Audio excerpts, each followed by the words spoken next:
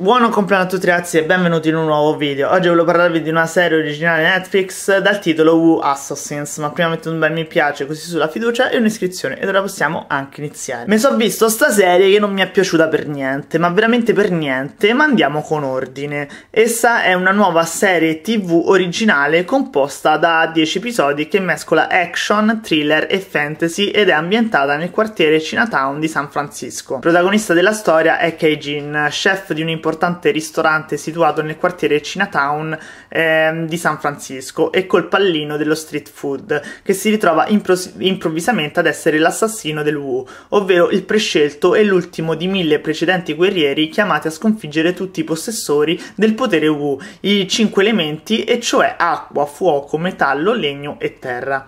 Allo stesso tempo il ragazzo è impegnato nella lotta che vede invischiata la mafia cinese nella perpetua contesa della supremazia nel quartiere quartiere. La serie non dà emozioni, va avanti così tanto per, restando solo come un prodotto di intrattenimento il più piatto possibile. I combattimenti sono abbastanza vergognosi, con i classici cliché del puntare le armi direttamente sul corpo invece di sparare da lontano, effetti speciali aberranti, veramente terrificanti, che sarei capace persino io a fare di meglio. La CGI fa veramente schifo, per non parlare dello sfondo con il palese chroma key di fine anni 80.